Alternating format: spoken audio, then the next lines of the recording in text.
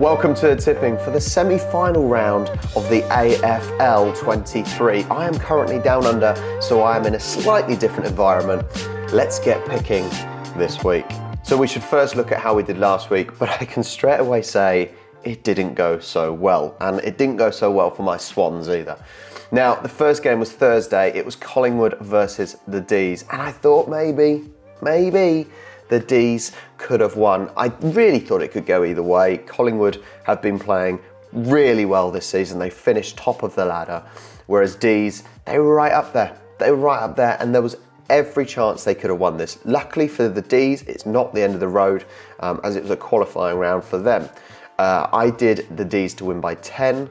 Unfortunately, they lost by 7. Ah, Never mind. So I did not get anything. It was fairly close in the predictions, uh, percentage wise. 65% went for Collingwood, but I get absolutely nothing on the board there at all. Then we go on Friday. Ugh, this is depressing. Carlton 74, Sydney Swans 68. We were so close. One one goal to making it a draw. I do get a close result though, a close score should I say. Only 22% of people went for Swans, which I'm I'm still slightly surprised about if I'm honest, but Carlton won. Um, it was a, just a, I'm disappointed by Swans because I think it's a really it's really lack of discipline, lack of lack of good decision making, and really poor kicking. You know, think of all those behinds we scored if we just got one or two of them through the middle post, we would have won. But yeah, it was not a good result, and the Sydney Swans are out of the finals this year. Then, if we go down to Saturday, we had St Kilda versus GWS. Now, this is a much closer prediction. Um, it was a 45 55 split between St Kilda and GWS, but GWS ran out the winners by 24 points. And that means I get one point for the result and half a point for the close score. I was only four points off a correct score. So that's pretty good. That means GWS um, are through to the next round. St Kilda are out. Then the last game, Brisbane versus Port. And I went for Port. It was a mistake. Um, Brisbane don't lose very often at the Gabba, which puts them in good stead for the next round in the playoff uh, prelim final. Sorry, um, 89%. I'm amazed how many, uh, but 89% of people went for the Lions. Only 10% went for Port. I'm, I am slightly shocked. I did Port by 10. Brisbane won by 48. So Nothing for that one. Not a good week. We should probably see who is still top of the table. I think it's obvious who's top of the table because he's having a blinder still. Uh, Jackson still right at the top. Fantastic. There is no catching him now, I don't think. Um, Frenchie, he's moved up one. There's a little battle still between. Uh, oh, Azimuth's gone down two. Uh, there's still a bit of a battle, sort of. Yeah, no, there is between anywhere still, sort of between eighth and second, can still change places, I reckon. But Jackson's still there. Let's see some movers and shakers.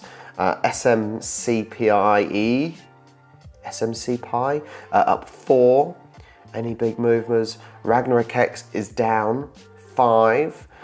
Uh, keep going. Sarah Ma up six. Buzz Two Cats up six. Cripper down nine. Where am I? M's up eight wooden spoon. Godra. Godra gets the wooden spoon this week. Uh, Magpies up eight. We have still got a bit of move. So I'm surprised there's this much movement, seeing as there was only four games. But there are some people that have moved up a decent amount. Magpies 20, 23 up eight. The Salmonator down five. Igsy down six. Oh, this is painful because I just keep going down and I've still not got to me yet.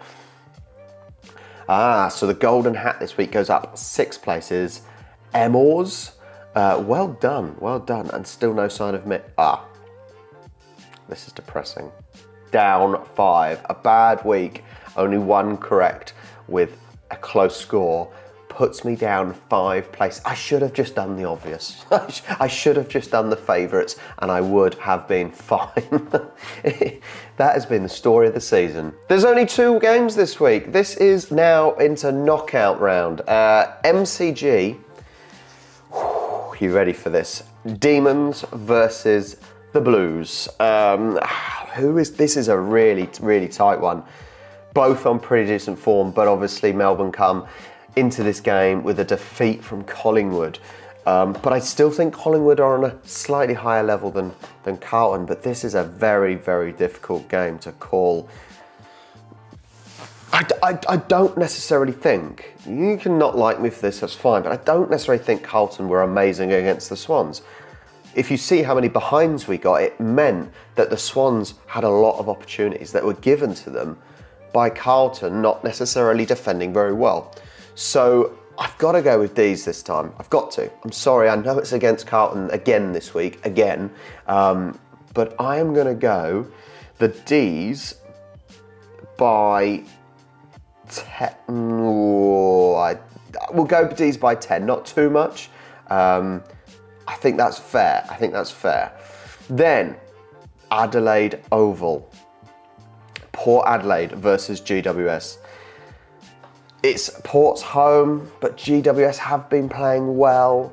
Um, did I'm pretty sure the last time GWS played over at Port this season, they did lose. They lost at the Oval last time. I'm pretty sure, if I remember rightly. There's so many games, it's really hard to remember, but I'm, I'm sure um, they came over and that may have been one of their losses. Maybe they lost to Port after um, they lost to Sydney, I think.